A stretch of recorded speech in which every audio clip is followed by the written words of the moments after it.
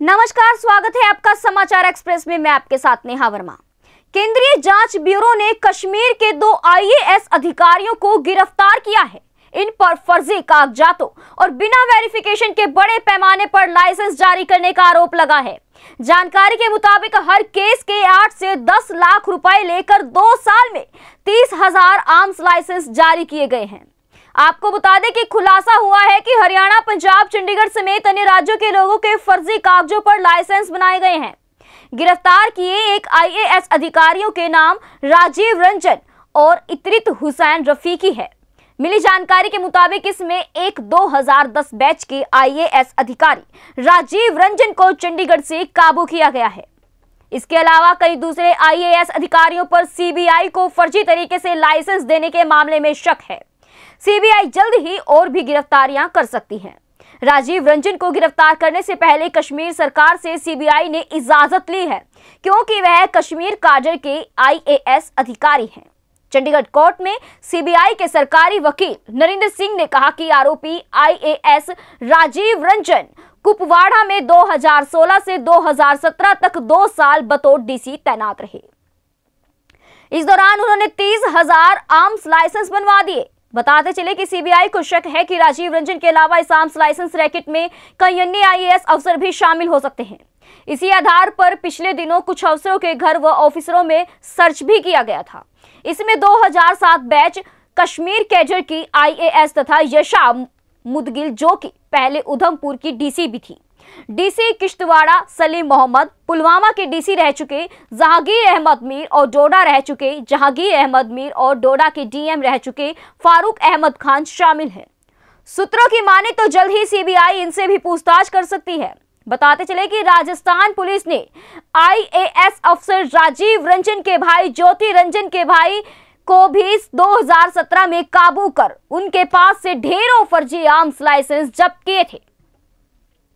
उसी कड़ी में पूछताछ करने में पुलिस को काफ़ी पुख्ता सबूत हाथ भी लगे थे, जिसके बाद डीजीपी ओपी गिलहोत्रा ने शक जताया था कि फर्जी आर्म्स लाइसेंस रैकेट में राजीव रंजन का भी हाथ हो सकता है। गिल्होत्रा ने इसकी सीक्रेट जानकारी सीबीआई को दी थी 30 दिसंबर 2019 को। सीबीआई ने आईएएस अधिकारी यशा मुदगुल कुमार राजीव रंजन, इतरत हुसैन रफीकी, मोहम्मद सलीम, मोहम्मद जुदैन खान, एसपी भगवत, फारूक अहमद खान और जहांगीर अहमद के घरों पर छापा मारकर तलाशी ली थी। यशा बिजली वितरण निगम, जम्मू की सीईओ और प्रबंधक निदेशक हैं। इससे पहले 10 जुलाई 2019 को जाँच एजेंसी ने जम्मू, कठुआ, उधमपुर और श्रीनगर में 11 जगहों पर एक साथ छापा मारा था। एटीएस को जाँच में यह भी पता चला था कि तीन हज़ार तीन ने भी जम्मू कश्मीर से गन लाइसेंस हासिल किए हैं। जम्मू कश्मीर से चार लाख की लाइसेंस जारी करने की बात जाँच में सामने आई है। इसमें 90 फ़ीसदी लाइसेंस दूसरे राज्य के लोगों को जारी किए गए हैं। कुपवाड़ा, बारामूला, शोपिया, राजौरी, उधमपुर, डोडा और रामबर ज़िले में सबसे अधिक लाइसेंस जारी किए गए हैं। डोडा रामबर उधमपुर ज़िले से जारी एक लाख तिरतालीस हज़ार तेरह लाइसेंस में से एक लाख बत्तीस हज़ार तीन सौ इक्कीस लाइसेंस दूसरे राज्यों में रहने वालों को जारी किए गए हैं। हालाँकि कुपवाड़ा ज़िले में लाइसेंस से जुड़ी कोई फ़ाइल भी नहीं मिली है। टीम इंडिया के कप्तान रहे महेंद्र सिंह धोनी ने भी यहाँ से लाइसेंस के लिए आवेदन किया था, जिसे रद्द कर दिया गया था। फर्जी गन लाइसेंस में गिरफ़्तार किए गए इतरत हुसैन रफीकी के खिलाफ एंटी करप्शन ब्यूरो ने भ्रष्टाचार के मामले में गत शुक्रवार को बारामूला के एंटी करप्शन कोर्ट में चालान पेश किया था। यह मामला 2015 के दौरान सब स्टैंडर्ड मैटिंग और अन्य फिनिशिंग आइटम्स की खरीद का है। आरोप है कि जिला स्तर की खरीद कमेटी ने मैटिंग और फिनिशिंग आइटम अधिक दामों पर खरीदी। इससे सरकार खजाने में सेंधमारी की गई।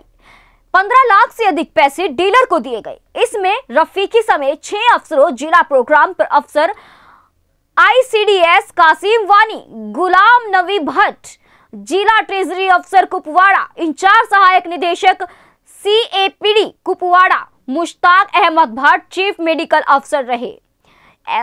Alim Uddin Bhat incharge general manager जिला industry centre Kupwara Khurshid Ahmad Malik agro cooperative marketing limited के नाम शामिल हैं। ऐसे ही लेटेस्ट खबरें पाने के लिए बेल आइकन को क्लिक कर हमारे चैनल को लाइक शेयर एंड सब्सक्राइब करें। धन्यवाद।